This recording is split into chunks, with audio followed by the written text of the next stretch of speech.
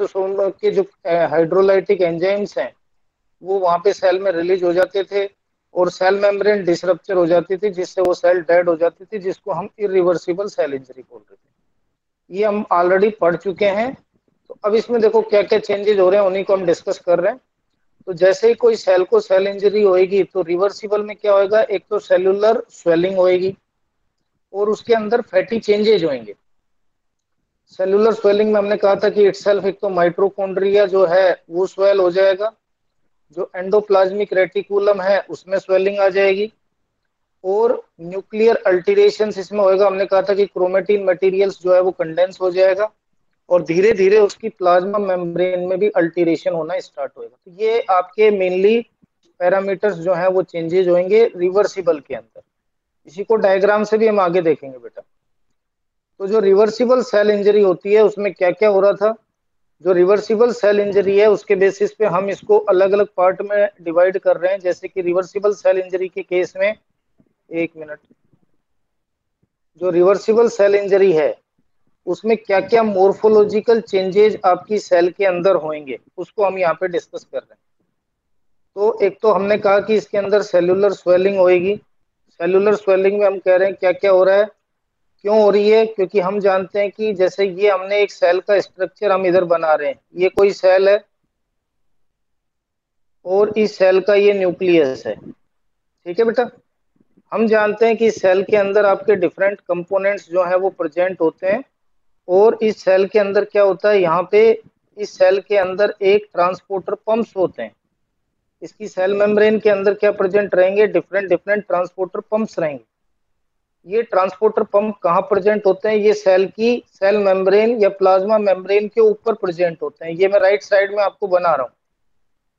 तो ये पंप क्या काम करते हैं बेटा? ये पंप गैस एक्सचेंज को या फिर आपके आयोनिक एक्सचेंज को आपका काउंटर बैलेंस करते हैं। तो देखो, कुछ चीज़ें तो सेल से के साइटोप्लाज्म से बाहर आएगी। तो जैसे कि कोई वेस्ट मटेरियल इस सेल में एक्यूमुलेट हो गया है तो वो इन ट्रांसपोर्टर पंप से बाहर की साइड में या एक्स्ट्रा सेलुलर साइड पे ये वेस्ट मटेरियल जो है वो चला जाएगा।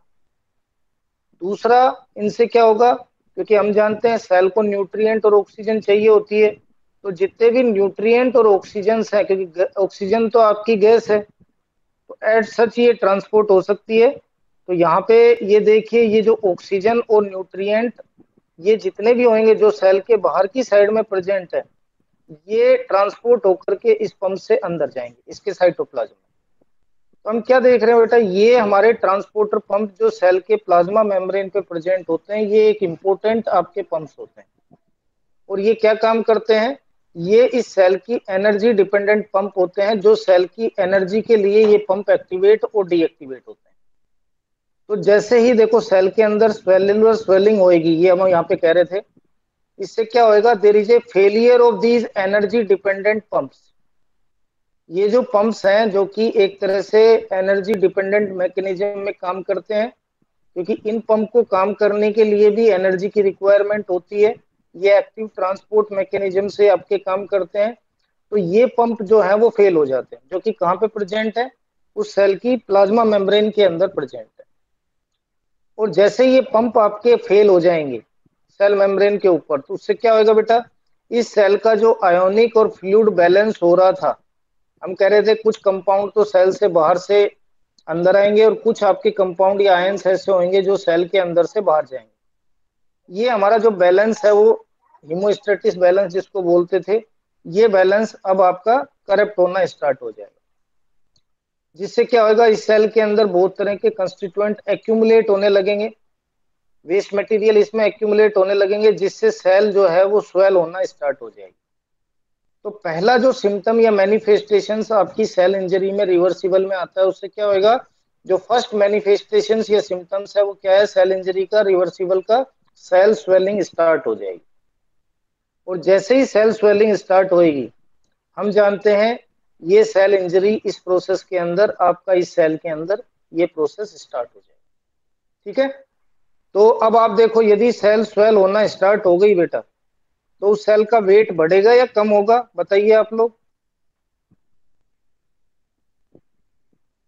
बढ़ेगा। इंक्रीज हो जाएगा क्योंकि वेस्ट मटेरियल और बहुत तरह की चीज़ें जो है वो एक्यूमुलेट हो जाएँगी। तो उससे उस ऑर्गन का या उस सेल का जिसके अंदर ये प्रोसेस आपका हो रहा है उसकी वजह से वेट जो है वो उस सेल का इंक्रीज हो तो ये हमारा पहला प्रोसेस होएगा कि किस तरह से सेल इंजरी जब होती है तो सेलुलर स्वेलिंग क्यों हो रही है? ये तो हो गया पहला चेंजेज अब जैसे ही सेलुलर स्वेलिंग होती है, दूसरे जो होंगे उस सेल के अंदर फैटी चेंजेज अब होना स्टार्ट हो जाएँगे। फैटी चेंजेज कब होते हैं? जब उस सेल को प्रॉपरली ऑक्सीजन मिलना कम हो जाएगा। तो उस कंडीशन को हम क्या बोलते थे? स्टार्ट में हमने पढ़ा था हाइपोक्सिया तो ये कब होएगा? फैटी चेंजेज हाइपोक्सिक इंजरी की वजह से होगी तो इस हाइपोक्सिक इंजरी के अंदर क्या होने लगेगा? एक तरह से जो लिपिड या फैट है उस सेल का, है ना? क्योंकि हम जानते हैं सेल मेम्ब्रेन लिपिड से ही होती है। तो वो आपके इसके सिम्टम्स क्या आएँगे? जो लार्ज लिपिड वैक्यूल्स या मोलिक्यूल्स हैं, वो डिजोल्व होकर के उसके साइटोप्लाज्म में आना स्टार्ट हो जाएँगे। और इस प्रोसेस को हम क्या कहेंगे? फैटी चेंजेस तो इस तरह के फैटी चेंजेस उस सेल के अंदर होना स्टार्ट होगा इसके कुछ एग्ज़ाम्पल हम दे सकते हैं, जैसे हिपेटोसाइट्स लीवर के अंदर ये फैटी चेंजेज आपको ऑब्ज़र्व करते हैं, इसलिए हम कहते हैं कि ये फैटी लीवर हो गया या इसी तरह से ये फैटी चेंजेज की वजह से मायोकार्डियल सेल इंजरी स्टार्ट हो जाती है, जिसकी वजह से पेशेंट को कंजेस्टिव हार्ट फेलियर हो सकता है। तो ये कुछ रिवर्सिबल चेंजेज या रिवर्सिबल सेल इंजरी के अंदर इस तरह के चेंजेज जो हैं वो अपियर होंगे। ये तो हमने दो चीज़ें कही कि एक तो सेल का वेट इंक्रीज हो रहा है, उसकी सेल की परमेबिलिटी चेंज हो रही थी रिवर्सिबल के अंदर और फैटी चेंजेज हो रहे थे। इसके अलावा हमने कहा था कि बहुत तरह की चीज़ें और चेंज होंगी, जिसको हम आगे डायग्राम में भी देखेंगे। जैसे कि माइट्रोकोन्ड्रिया हमने कहा था, वो स्वेल हो जाएगा एंडोप्लाज्मिक रेटिकुलम स्वेल होकर के डायलेट हो जाएगा, उसकी प्लाज्मा मेम्ब्रेन ब्लैब हो जाएगी रप्चर होना स्टार्ट हो जाएगी, और जो माइक्रोविलीज हैं वो लॉस हो जाएँगे। और इस सेल के अंदर इोसिनोफिल इसकी क्वांटिटी बढ़ जाएगी।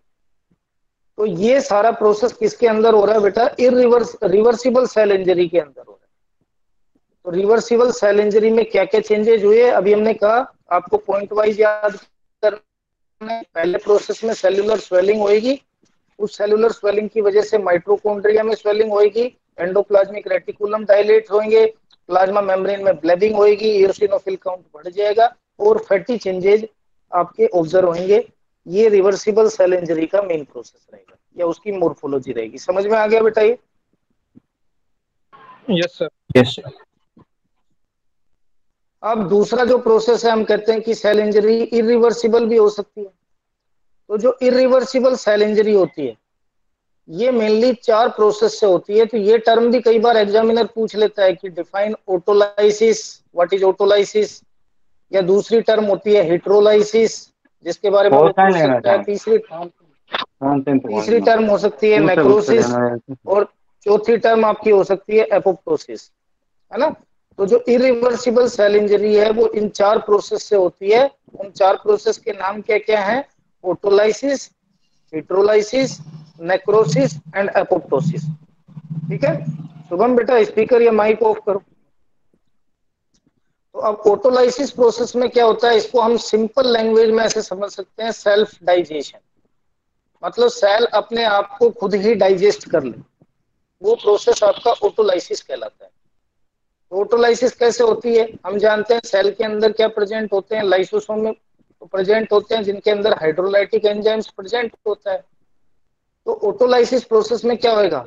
जो सेल के लाइसोसोम्स हैं, उसकी लाइसोसोमल मेम्ब्रेन रप्चर हो जाएगी जिसकी वजह से जो हाइड्रोलाइटिक एंजाइम्स जो है, वो उसके साइटोप्लाज्म में लिबरेट होंगे जिससे वो सेल खुद डाइजेस्ट हो जाएगी या डिसइंटीग्रेट हो जाएगी। इस प्रोसेस को हम ऑटोलाइसिस बोलें। तो ऑटोलाइसिस एक रैपिड प्रोसेस है जो सेल के अंदर हो रहा है। किसकी वजह से हो रहा है? हाइड्रोलाइटिक एंजाइम्स की अंदर, की वजह से हो रहा है। तो ये प्रोसेस हम किन किन ऑर्गन्स में देखते हैं? ज़्यादातर ये प्रोसेस जो हमारा होता है, वो pancreas gastric mucosa heart, liver and kidney और कुछ फाइब्रियस टिश्यूज में भी आपका होगा। लेकिन ये जो प्रोसेस है, ये तीन प्रोसेस से हम इसको डिफाइन करते हैं। एक, जिसमें मतलब इलेक्ट्रोलाइसिस तीन पार्ट से हो सकता है। पहला होता है रैपिड प्रोसेस तो ऐसे ऑर्गन्स जिसमें रैपिडली ऑटोलाइसिस होता है या हाइड्रोलाइटिक एंजाइम से, उसको हम रैपिड ऑटोलाइसिस बोलेंगे। रैपिड ऑटोलाइसिस पेनक्रियाज और जो गैस्ट्रिक म्यूकोसा वाली सेल्स हैं, उसके अंदर होगा दूसरा प्रोसेस होता है इंटरमीडिएट ऑटोलाइसिस इंटरमीडिएट मतलब रैपिड से तो कम उसकी स्पीड कम है, लेकिन स्लो से थोड़ी ज़्यादा है। तो ये कि प्रोसेस किसमें होगा बेटा? हार्ट के अंदर लीवर के अंदर और किडनी के अंदर। और तीसरा होता है स्लो ऑटोलाइसिस स्लो ऑटोलाइसिस जो है वो फाइब्रेस टिश्यू के अंदर तो ऑटोलाइसिस एक सेल्फ डाइजेशन प्रोग्राम है, जो कि सेल्फ अपने आप ऑटोमेटिक स्टार्ट करती है, जिसमें जो लाइसोसोम्स है, उसकी मेम्ब्रेन रप्चर हो जाती है, जिससे हाइड्रोलाइटिक एंजाइम्स उसके साइटोप्लाज्म में रिलीज़ हो जाते हैं, जिससे वो एंजाइम्स उस सेल को ही सेल्फ डाइजेस्ट कर जाएगी है ना? उस प्रोसेस को हम ऑटोलाइसिस बोलेंगे। ऑटोलाइसिस तीन पार्ट में हो सकता है। कुछ टिश्यूज में ये रैपिड ऑटोलाइसिस हो सकता है, कुछ में इंटरमीडिएट हो सकता है और कुछ के अंदर स्लो हो सकता है। उनके एग्जाम्पल्स हमने यहाँ पे दे दिए। ये समझ में आ गया बेटा? यस सर अब दूसरा जो प्रोसेस होता है, वो होता है हिट्रोलाइसिस तो देखो, दोनों में फ़र्क क्या है? ऑटोलाइसिस और हिट्रोलाइटिक्स में. ऑटोलाइसिस में तो हम कह रहे थे कि इसमें बहुत तरह के आपके लाइसोसोमल एंजाइम्स या हाइड्रोलाइटिक एंजाइम्स जो है, वो रिलीज़ हो रहे थे. लेकिन यहाँ जो हाइड्रोलाइटिक एंजाइम्स जो हो रहे हैं सेल तो हाइड्रोलाइटिक एंजाइम से ही डाइजेस्ट हो रही है, लेकिन इन सेल के अंदर पहले इंफ्लामेटरी मीडिएटर्स जो है, वो रिलीज़ हुए अब इंफ्लामेटरी मीडिएटर्स क्या होते हैं? जो सेल के अंदर इंफ्लामेशन करें, है ना? तो जैसे हमारा न्यूट्रोफिल्स होता है आपने पिछले साल ब्लड पढ़ा है और हमने आपको प्रॉपर्टी भी बताई थी कि जो डब्ल्यू के न्यूट्रोफिल्स होते हैं, उसकी एक खासियत होती है कि न्यूट्रोफिल्स जो है, वो ब्लड वेसल की मेम्ब्रेन को क्रॉस करके सेल के अंदर तक जा सकते हैं, जिसको हम कीमोटेक्सिस अप्रोच बोल रहे थे। तो उसकी वजह से फिर इंफ्लामेटरी मीडिएटर्स जो है वो रिलीज़ होते हैं, जिससे वो सेल के अंदर इरिवर्सिबल सेल इंजरी होती है। तो हिट्रोलाइसिस में क्या होता है? ऑटोलाइसिस तो मतलब सेल के अंदर ही इस तरह का कंपाउंड था जो उसको डाइजेस्ट या इंगल्फ कर रहा था, जिसमें हम कह रहे थे हाइड्रोलाइटिक एंजाइम्स प्रेजेंट है। लेकिन हिट्रोलाइसिस में मतलब सेल के अंदर वाले सेल के अंदर वाले कंपाउंड्स इन्वॉल्व नहीं हो रहे, लेकिन कुछ इस तरह के मीडिएटर्स जो बाहर से आकर के सेल के अंदर आ रहे हैं। वो क्या काम कर रहे हैं? उस सेल के अंदर हाइड्रोलाइटिक एंजाइम्स को एक्टिवेट करके उस सेल को डाइजेस्ट करा रहे हैं। उस प्रोसेस को हम हिट्रोलाइसिस बोले ये समझ में आ गया बेटा? यस सर यस सर अब इसमें सबसे इंपॉर्टेंट पार्ट जो है इरिवर्सिबल सेल इंजरी का वो है नेक्रोसिस एंड एपोप्टोसिस तो या तो बेटा देखो मोर्फोलॉजी और सेल इंजरी में कल हमने कहा था कि एडेप्टेशन वाले जो पार्ट है कल आपको जो बताई थी जिसमें हमने कहा था ओटोफेगी या डिस्प्लेसिया या अलग अलग टर्म आपको बताई थी हिट्रोट्रोपी वो सब आपने पढ़ी थी कल। या तो क्वेश्चन उस पर आएगा। या अगर इरिवर्सिबल सेल इंजरी के ऊपर क्वेश्चन आता है तो सबसे इंपॉर्टेंट ये पार्ट है जिसको हम नेक्रोसिस और अपोप्टोसिस बोले तो उन पे क्वेश्चन नहीं आता है तो हंड्रेड परसेंट मान के चलिएगा कि नेक्रोसिस और एपोप्टोसिस पे क्वेश्चन आएगा। तो अब ये दो प्रोसेस है। देखो, इसमें इरिवर्सिबल का मतलब क्या होगा? जिसमें सेल डेड हो जाए। तो दोनों ही प्रोसेस में नेक्रोसिस में भी सेल डेड होएगी और एपोप्टोसिस में भी सेल डेड होएगी। लेकिन दोनों में डिफरेंस क्या है? एपोप्टोसिस तो क्या है बेटा? It is a programmed cell death program मतलब सेल अपने आप को किल करने के लिए इस तरह का ऑटोमेटिक प्रोग्राम जनरेट कर लेती है, जिससे वो सेल डेड हो जाती है। उस प्रोसेस को हम एपोप्टोसिस बोलते हैं। और नेक्रोसिस का मतलब क्या होता है कि बहुत तरह की सीक्वेंस ऑफ़ सीरीज़ जो है उस सेल के अंदर आपकी अकर्स होती है, जिससे वो सीक्वेंस ऑफ़ सीरीज़ क्या काम करती है, उस सेल या उसको किल करने के लिए उस इंजर्ड सेल रिस्पॉन्सिबल होती है। तो नेक्रोसिस में भी सेल डेड हो रही है एपोप्टोसिस में भी सेल डेड हो रही है, लेकिन सेल्फ अराइव्ड प्रोग्राम जो आपको सेल किल करने के लिए स्टार्ट करती है। इसको हम कैसे समझ सकते हैं? जैसे बेटा हम जानते हैं कि सेल्स वो जनरेट होती है, जैसे स्किन है ना? स्किन के ऊपर आप देखो कि आपने पिछले साल पढ़े थे। तो इनमें क्या होता है कि नंबर सेल बहुत ज़्यादा इंक्रीज हो जाती है। तो जिन सेल की रिक्वायरमेंट होती है, उसको क्या होना चाहिए? हो जाना चाहिए। हमारी बॉडी इट इस तरह का या वो सेल जो है वो इस तरह का सेल्फ डायरेक्ट प्रोग्राम जनरेट करेंगी, जिससे वो सेल अपने आप में किल हो जाए है ना? और कोई केमिकल इंजरी हो रही है या किसी और स्टूमुलाई की वजह से अगर इंजरी हो रही है तो वो सेल के अंदर, वो सेल काम की है हमारी। लेकिन फिर भी वो डेड हो रही है, वो प्रोसेस आपका नेक्रोसिस कहलाए दोनों में डिफरेंस समझ में आ गया बेटा? हालाँकि आगे भी हम इसमें दोनों के अंदर डिफरेंस देखेंगे। कई बार एग्ज़ाम में क्वेश्चन नेक्रोसिस और एपोप्टोसिस दोनों के बीच में डिफरेंस पे भी आ जाता है। चले आगे।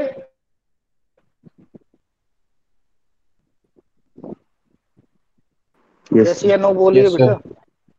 यस सर तो अब अब देखो पहला टर्म हम पढ़ रहे हैं नेक्रोसिस तो नेक्रोसिस में क्या हो रहा है? It is a type of cell death program है ना? ये एक सेल डेथ का प्रोग्राम है which is associated with loss of membrane integrity मतलब हमारी सेल की जो सेल मेम्ब्रेन या प्लाज्मा मेम्ब्रेन है, उसकी इंटीग्रिटी चेंज हो जाती है। तो अब कोई भी कंपाउंड सेल से बाहर जा सकेगा। एक तरह से हम कह सकते हैं सेल मेम्ब्रेन रप्चर हो गई है। वो लीक आउट होने लगेगी। तो उससे क्या होगा, जो सेल के कंपोनेंट्स हैं या सेल ऑर्गेनलिस हैं, वो लीक आउट होकर के बाहर आ जाएँगे। It result leakage of cellular contents उससे क्या होगा, जो सेल और सेल ऑर्गेनलिस है, वो डिजोल्व हो जाएगी। So there is a dissolution of cells है ना?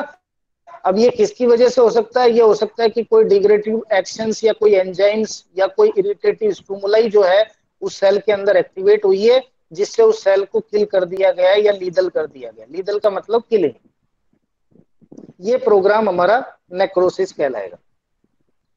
तो नेक्रोसिस के अंदर क्या क्या चेंजेस होते हैं बेटा? जब किसी सेल के अंदर नेक्रोसिस वाला प्रोसेस एक्टिवेट होता है तो उस सेल की मोर्फोलॉजी में बहुत तरह के चेंजेस होते हैं। हम जानते हैं, ये जैसे हमारी कोई सेल है, ये उसका न्यूक्लियर मेम्ब्रेन है और उसके अंदर ये न्यूक्लियस स्टोर्ड है। अब न्यूक्लियस के अंदर क्या क्या होता है बेटा? हम जानते हैं, एक तो आरएनए होता है राइबोसोम्स राइबोन्यूक्लिक एसिड ठीक है? एक उसके अंदर डीएनए होता है, जिसको हम डीऑक्सी राइबोन्यूक्लिक एसिड बोलते हैं। और सर्टेन टाइप्स के मैसेंजर आरएनए होते हैं। उससे सर्टेन टाइप्स के प्रोटीन सिंथेसाइज होते हैं। और ये प्रोटीन न्यूक्लियस से कैसे बन रहे हैं, यही डिसाइड करते हैं कि वो सेल कैसा एक्शन परफॉर्म करेगी या उस सेल का फ़ंक्शन क्या होगा। तो इसी वजह से हम कहते हैं कि हमारा न्यूक्लियस जो होता है सेल का, वो डिसाइड करता है कि उस सेल को क्या काम करना है। जैसे इस साल आप डाइजेस्टिव सिस्टम पढ़ोगे तो स्टोमक में कई अलग अलग टाइप की सेल्स आप देखेंगे। स्टोमक के अंदर एक गोबलेट सेल्स होती है। क्या करती है गोबलेट सेल्स बेटा? किसी को आइडिया हो तो? म्यूकस म्यूकस सिक्रेट करती हैं। इसी तरह से जैसे पेराइटल सेल्स होती हैं वो हाइड्रोक्लोरिक एसिड सिक्रेट करती हैं। तो ऐसा सेंस कहाँ से आता है कि इस सेल को यही काम करना है? तो वो डिसाइड कौन करता है कि उस सेल के अंदर किस तरह के प्रोटीन सिंथेसाइज हो रहे हैं वो डिसाइड करेंगे कि उस सेल को कैसे काम करना है। तो यहाँ पे हम क्या कह रहे हैं कि ये जो मोर्फोलॉजिकल चेंजेज हो रहे हैं किसी सेल में अगर उसके अंदर नेक्रोसिस वाला प्रोसेस स्टार्ट हो रहा है, जिसमें सेल डेथ हो रही है, उसमें सबसे पहले इंट्रासेलुलर प्रोटीन्स जो होते हैं, वो डीनेचुरेट हो जाते हैं। और अगर प्रोटीन ही डीनेचुरेशन हो गया तो क्या वो प्रोटीन अपना काम कर पाएगा बेटा?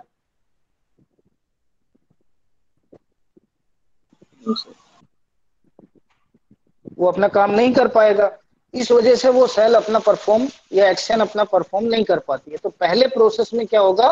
कि उसके प्रोटीन के अंदर डिनेचुरेशन होएगा, जिससे फंक्शनल प्रोटीन्स और जो स्ट्रक्चरल प्रोटीन्स हैं, वो अपना एक्शन परफॉर्म नहीं कर पाए तो पहला तो इसमें नेक्रोसिस में क्या हो रहा है? स्ट्रक्चरल एंड फंक्शनल प्रोटीन्स में चेंजेज हो रहा है।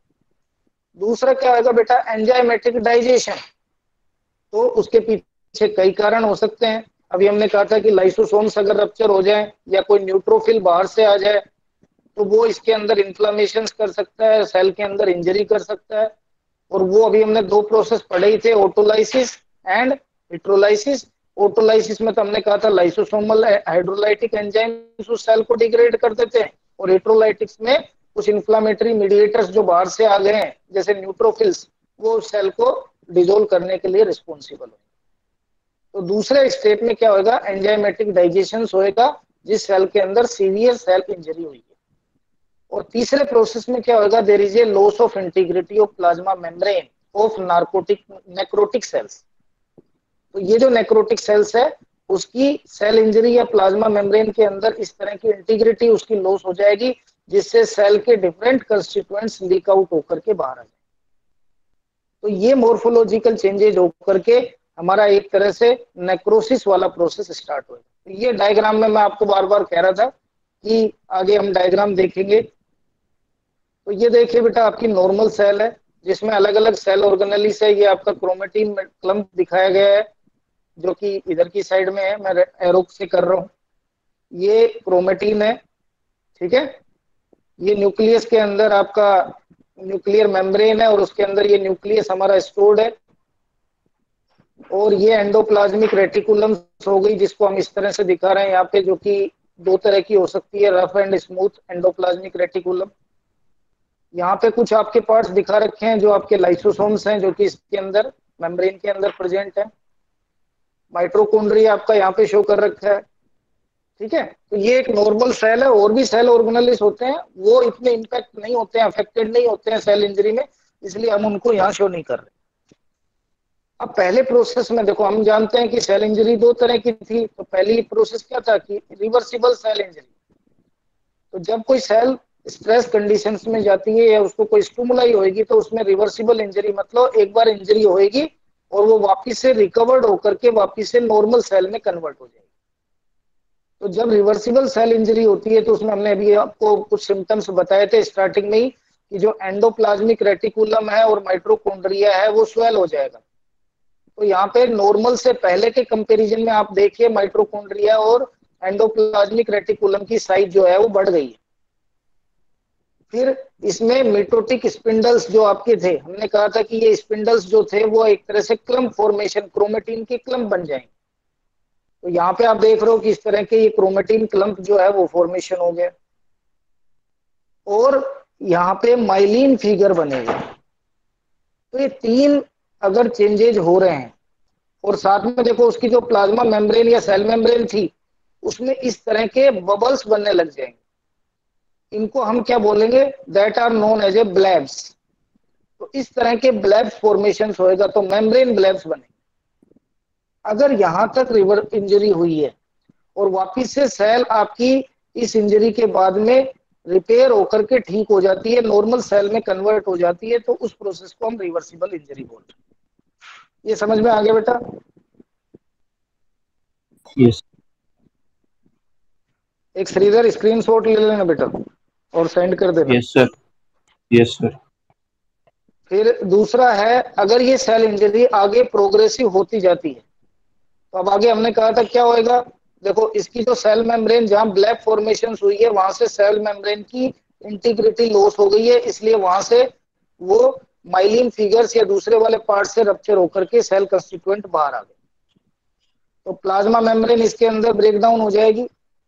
न्यूक्लियस मेम्ब्रेन आपकी ब्रेक डाउन होकर के न्यूक्लियर मटेरियल्स भी रिलीज़ हो जाएँगे, जिससे सेल कंटेंट लीक आउट होकर के बाहर आ जाए।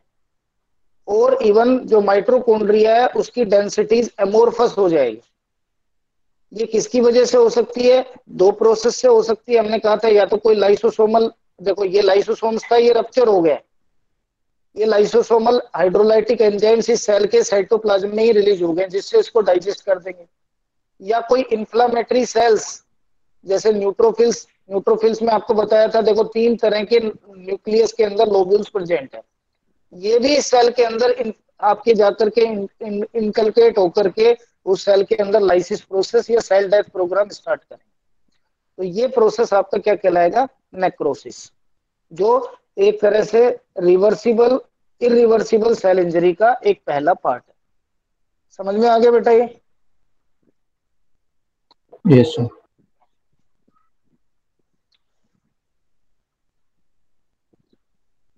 तो एक तरह से नेक्रोसिस के अंदर जो आपका हो रहा है, क्या हो रहा है, जो सर्टेन साइटोप्लाज्म में क्या क्या चेंजेज होंगे, वो हम यहाँ पे क्या देख रहे हैं कि जो नेक्रोटिक सेल्स है है ना, उसके अंदर there is a increase in inflammatory mediators तो इंफ्लामेटरी मीडिएटर्स में अभी हमने कहा था न्यूट्रोफिल्स योसिनोफिल्स बेसोफिल्स ये होते हैं तीन। तो योसिनोफिलिया यहाँ पे डेवलप हो रहा है। मतलब योसिनोफिल की क्वांटिटी भी ज़्यादा हो रही है और न्यूट्रोफिल की क्वांटिटी ज़्यादा हो रही है। ये उसके साइटोप्लाज्म के अंदर हमारे को चेंजेस देखने को मिलेंगे। एज कंपेयर टू जो नॉर्मल सेल्स आपकी अपियर होती है। इसके अलावा जो ग्लाइकोजन पार्टिकल्स होते हैं सेल के अंदर, वो लॉस होना स्टार्ट हो जाएँगे। अभी हमने डायग्राम में देखा था कि माइलिन फिगर्स जो हैं, वो प्रोमिनेंटली अपियर होने लगेंगे। ये किसका पार्ट था? रिवर्सिबल का। और नेक्रोटिक सेल्स के अंदर क्या होंगे? यहाँ पे जो प्लाज्मा मेम्ब्रेन्स है, वो डिस्कंटिन्यूटी या उसकी इंटीग्रिटी लॉस होने लगेगी। उसके सेल ऑर्गेनलिस लॉस होने लगेंगे माइट्रोकॉन्ड्रियल डायलेशन होने लगेगा और लाइसोसोम्स डिस्ट्रक्चर हो जाएगा। तो इस तरह के चेंजेस हमारे को यहाँ पे देखने को अपीयर हो रहे हैं। ये तो हो गए साइटोप्लाज्म में क्या चेंज हो रहे थे। अब उसके न्यूक्लियस में क्या चेंज हो रहे हैं? तो यहाँ पे जब न्यूक्लियस की बात करते हैं तो बेटा न्यूक्लियस में हमने कहा था कि वहाँ पे क्रोमेटिन मटेरियल था। तो न्यूक्लियर चेंजेज में क्या होगा, उसका डीएनए जो है वो ब्रेक होना स्टार्ट हो जाएगा और क्रोमेटिन जो है वो उसके क्लम्प बनेंगे। तो ये तीन प्रोसेस में होएगा। कई बार इन टर्म्स को भी वो डिफाइन करा लेता है कि what is pyknosis what is karyorrhexis and what is karyolysis ये तीन प्रोसेस न्यूक्लियस के अंदर होते हैं। तो पहला प्रोसेस क्या होता है? पाइकोनोसिस पाइकोनोसिस का मतलब क्या होता है? जो न्यूक्लियस है, वो श्रिंक हो जाता है, वो छोटा हो जाता है। वो श्रिंक किसकी वजह से होता है? क्योंकि उसके न्यूक्लियस के अंदर बेसोफिल्स जो हैं, उनकी क्वांटिटी इंक्रीज हो जाती है जिसकी वजह से जो न्यूक्लियस का डीएनए और क्रोमेटीन मटेरियल्स हैं, वो ब्रेक डाउन हो जाते हैं और उसकी वजह से न्यूक्लियस की साइज़ कम हो जाएगी। तो इस प्रोसेस को हम क्या बोलेंगे? इक्नोसिस ठीक है? अगर न्यूक्लियस के सेल मटेरियल्स या जो डीएनए, क्रोमेटीन और आरएनए है, उनमें फ्रेगमेंटेशन हो जाता है तो उस प्रोसेस को हम बोलेंगे कैरियोरेक्सिस। और यदि बेसोफिल्स और क्रोमेटिन्स इनकी फेडिंग अगर न्यूक्लियस के अंदर हो जाती है तो उस प्रोसेस को हम बोलेंगे कैरियोलाइसिस। तो इन तीन प्रोसेस से न्यूक्लियस के अंदर चेंजेज उस सेल के अंदर होएगा। ठीक है? तो इस तरह के नेक्रोटिक चेंजेज जो होंगे, जिससे वो सेल क्या होगी डाइजेस्टेड हो जाएगी और हाइड्रोलाइटिक एंजाइम्स की वजह से हो सकती है, या आपके डिफरेंट जो मीडिएटर्स रिलीज़ हुए हैं उस सेल के अंदर, वो आपके अपीयर होंगे तो एक तरह से जो डेड सेल्स है वो किससे कन्वर्ट हो जाएगी? वो माइलिन फिगर्स के फॉर्म में कन्वर्ट हो जाएगी और उन माइलिन फिगर्स को हमारे बॉडी के अंदर जो दूसरे डब्ल्यू के पार्ट्स हैं वो उसको फेगोसाइट्स कर ले। तो इस तरह से वो सेल डेथ प्रोग्राम हमारा स्टार्ट हो जाएगा। आ गया बेटा समझ में? सर अब नेक्रोसिस के बाद में दूसरा इंपॉर्टेंट प्रोसेस हमने कहा था एपोप्टोसिस एपोप्टोसिस क्या है इटसेल्फ ये खुद की सेल का मतलब कोई सेल अपने आप को खुद को किल करने के लिए एक प्रोग्राम जनरेट कर ले उसमें और वो डेड हो जाए। तो उस प्रोसेस को हम एपोप्टोसिस बोलेंगे। तो एपोप्टोसिस आपका क्या है? Apoptosis is a pathway of cell death in which cell activate certain enzymes that degrade the cells own either its nuclear DNA और न्यूक्लियस और साइटोप्लाज्मिक प्रोटीन ठीक है? तो the plasma membrane of apoptic cells remain intact इसके अंदर plasma membrane apoptosis process में intact रहती है, उसमें चेंजेस नहीं आते।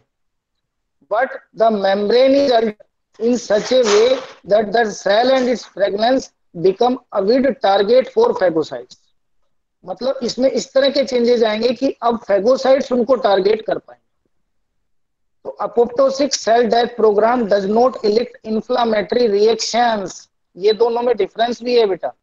अभी हम आगे पढ़ेंगे कि नेक्रोसिस और एपोप्टोसिस में क्या फ़र्क था तो हमने नेक्रोसिस में कहा था कि सर्टेन इंफ्लामेटरी मीडिएटर सेल्स के अंदर अपीयर होते हैं। जैसे न्यूट्रोफिल और बेसोफिल्स का एग्ज़ाम्पल हमने समझाया था। लेकिन एपोप्टोसिस प्रोसेस में इस तरह की इंफ्लामेटरी रिएक्शंस नहीं होंगी। है ना? ये दोनों में डिफरेंस होएगा। अच्छा जो अपोप्टोसिस होता है, वो प्रोग्राम दोनों वजह से हो सकता है। या तो खुद इट्स फिजियोलॉजिकल हमारी बॉडी चाह रही है उसको ये एक्स्ट्रा अनवांटेड सेल्स जो हैं, वो किल हो जानी चाहिए। या आपकी बॉडी के अंदर सर्टेन पैथोलॉजिकल चेंजेज हो गई है या डिज़ीज़ हो गई है तो उसकी वजह से हमारे अंदर ये एपोप्टोसिस प्रोग्राम हो सकता है। तो एक तरह से ये प्रोसेस क्यों होता है? आप कहोगे कि बॉडी में इस तरह का क्यों प्रॉब्लम होता है?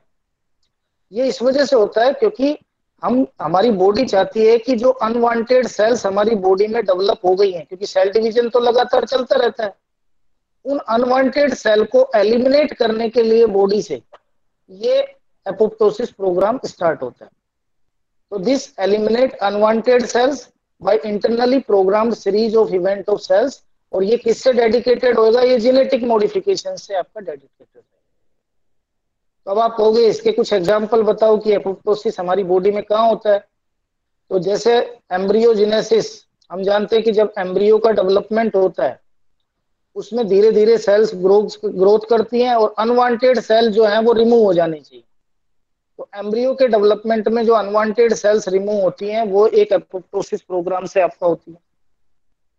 इसी तरह से मैंने आपको बेस्ट एग्जांपल बताया था स्किन के अंदर या हमारी जीआईटी के अंदर लगातार सेल प्रोलिफरेशन चलता रहता है। तो वहाँ सेल पॉपुलेशन बहुत ज़्यादा बढ़ जाती है।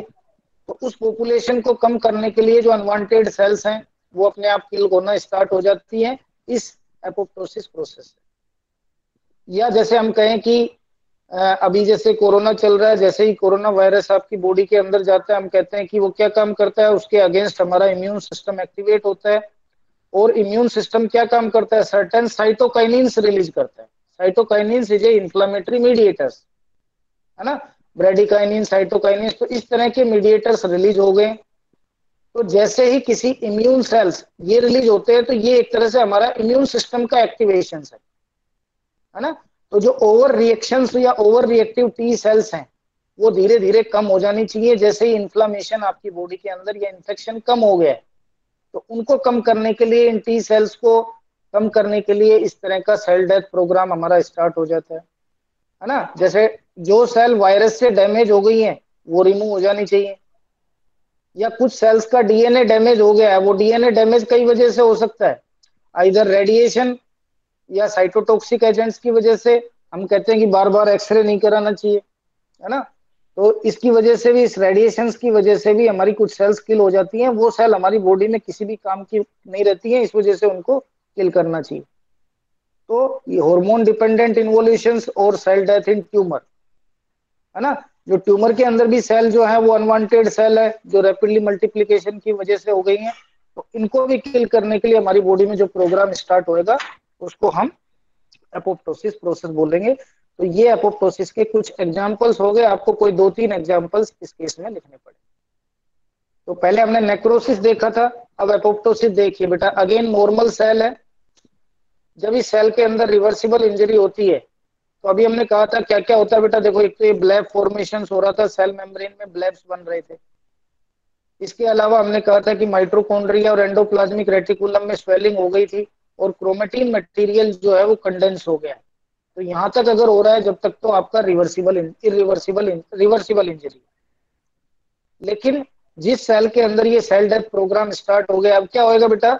यहाँ पे सेलुलर फ्रेगमेंट्स बनेंगे। ये देखो। तो एक तरह से जो सेल है, वो छोटे छोटे पार्ट्स में या टुकड़ों में कन्वर्ट हो जाएगी। ये देखो सेल के अलग अलग पार्ट्स हो गए। है ना? किसी पार्ट में जैसे माइट्रोकोन्ड्रिया चला गया, किसी में न्यूक्लियस चला गया तो ये जो पार्ट बने हैं, इनको हम क्या बोलेंगे? That part is known as apoptotic body उसको हम बोलेंगे एपोप्टिक बॉडी तो इस तरह की एपोप्टिक बॉडीज बनेंगी। और ये फिर एपोप्टिक बॉडी क्योंकि ये सेल से रिलीज़ होकर के बाहर आ गई है, ये सेल डिग्रेडेड हो गई है। और हम जानते हैं हमारे ब्लड के अंदर बहुत तरह के फेगोसाइट्स जैसे टी सेल और बी सेल हैं, और मैक्रोफेजेस सेल्स हैं, वो इस एपोप्टिक बॉडीज को इंगल्फ कर लेंगी फेगोसाइटिस कर लेंगी और धीरे धीरे ये सेल जो है वो किल हो जाए। समझ में आ गया बेटा? यस सर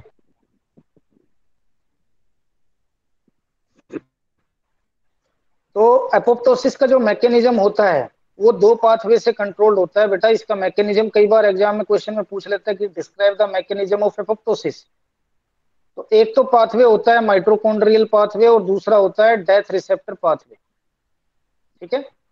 तो माइट्रोकॉन्ड्रियल पाथवे में तो क्या होता है? हमारा माइट्रोकॉन्ड्रिया इन्वॉल्व होता है। इटसेल्फ सेल अपने आप को किल करने के लिए इस पाथवे को एडोप्ट करती है। तो हम जानते हैं कि जैसे सेल को इंजरी होती है तो वो कई फैक्टर से हो सकती है। जैसे ग्रोथ फैक्टर या उसका डीएनए डैमेज हो गया रेडिएशन या कुछ केमिकल्स या टॉक्सिन्स या फ्री रेडिकल्स की वजह से, या उसकी प्रोटीन्स में एक तरह से मिसफोल्डिंग हो गई है एंडोप्लाज्मिक रेटिकुलम जब भी कोई सेल स्ट्रेस कंडीशंस में जाएगी तो इस तरह की एक्टिवेशन होगी।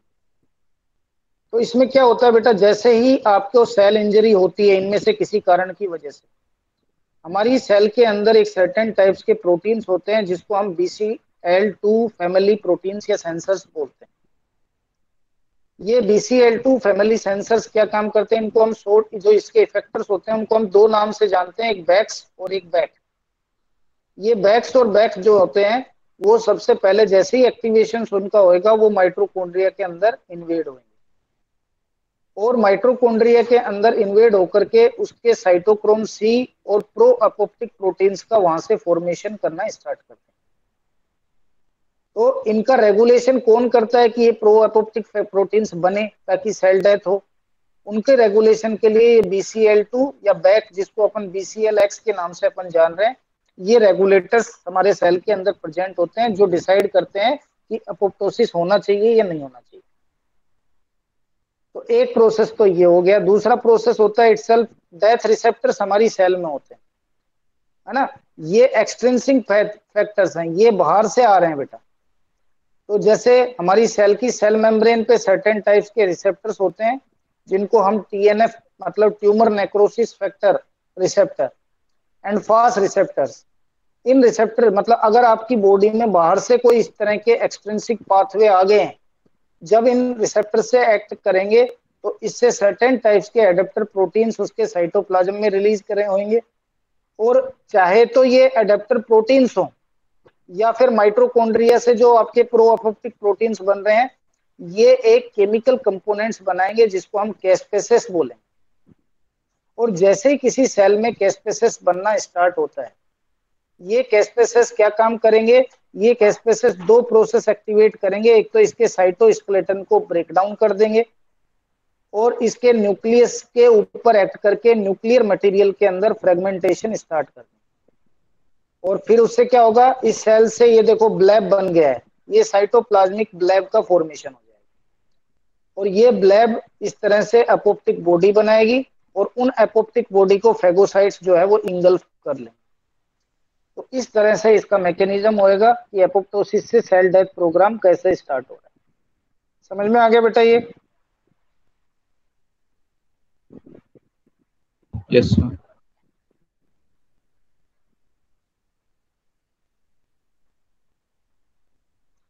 अब कई बार आपका एग्ज़ाम में क्वेश्चन मैंने आपको कहा था कि नेक्रोसिस और एपोप्टोसिस के बीच में डिफरेंस आ जाता है। तो देखो दोनों के बीच में डिफरेंस आपका लिखा गया है कि क्या डिफरेंस है दोनों में? तो ये करेक्टरिस्टिक्स हैं जिसके बेसिस पे हम डिफ्रेंशिएट कर रहे हैं। तो पहला है सेल साइज़ तो नेक्रोसिस में क्या होता है बेटा? सेल बढ़ साइज़ बढ़ती है कम होती है? बढ़ती है।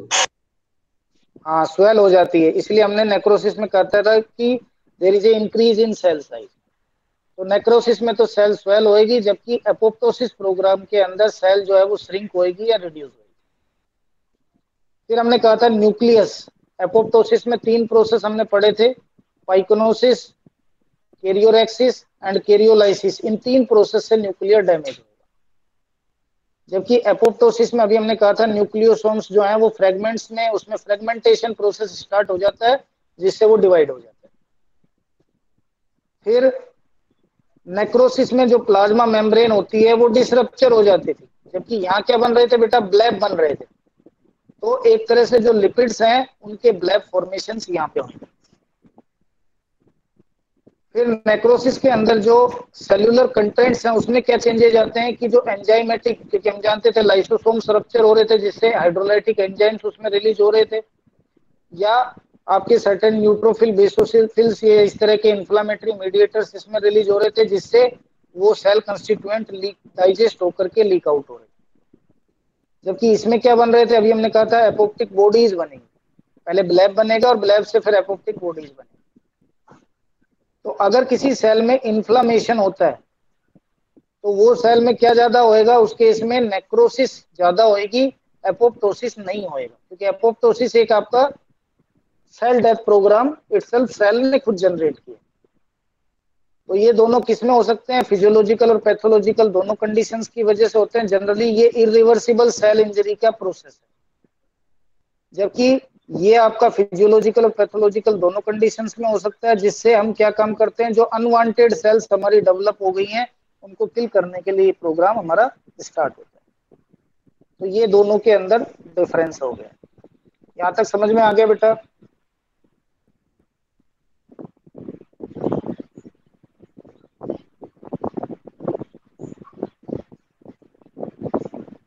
यहाँ तक समझ में आ गया? यस सर तो ये देखिए एक हमारा इम्पोर्टेंट पार्ट था। तो ये आपको अच्छे से ये हम ऑलरेडी पढ़ चुके हैं एडेप्टेशन और कल जिनके बारे में हमने कहा था कि इटसेल्फ ये आपको प्रेजेंटेशन मिल गई है मैंने भेज चुका हूँ। ये एट्रोपी इनके बारे में हम ऑलरेडी कल डिस्कस कर चुके थे। Atrophy hypertrophy hyperplasia metaplasia dysplasia इनके बारे में हम कल डिस्कस कर चुके हैं।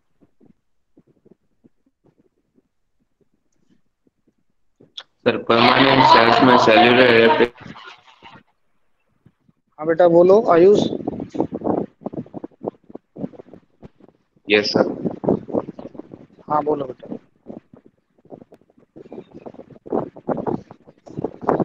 बोलो आवाज़ नहीं आ रही बेटा क्या क्वेश्चन था तुम्हारा आयुष? सर परमानेंट सेल्स में सेल्यूलर एडेप्टेशन होता है। होता ही है उसी वजह से हमारे ऑर्गन्स पर्टिकुलरली क्योंकि सारी बॉडी की सेल्स जो है उसमें ये इनमें से कोई सा ना कोई सा प्रोसेस होता ही है। और उसी वजह से सेल्स हमारे ऑर्गन कैसे डेवलप होते हैं? जैसे हम जैसे स्टार्ट करते हैं हमारी बॉडी जैसे बचपन में होती है धीरे धीरे हमारी बॉडी बढ़ती जाती है ना इंक्रीज होती जाती है। और ऑर्गन की साइज़ भी चेंज होती जाती है। तो कहीं ना कहीं ये प्रोसेस आप हाँ आयुष बोलो। सर न्यूरॉन्स में। नहीं न्यूरॉन्स में तो वो एक तरह से डैमेज होते हैं है ना? तो वो प्रोसेस आपका एक तरह से एट्रोपी जिसमें एक तरह से हमने कहा था साइज़ कम हो गई है या उसकी रिड्यूस हो गई है वो एज के साथ कम होती जाती है। ठीक है? आयुष? ओके सर तो अब इसमें हमारा ये लास्ट पार्ट बचा है बेटा एसिडोसिस एंड एल्कोलोसिस ठीक है? उसके बाद ये चैप्टर हमारा खत्म हो जाएगा। इसको हम कल करेंगे। अगर इसमें कोई दिक्कत है तो अभी तक आप पूछ सकते हैं।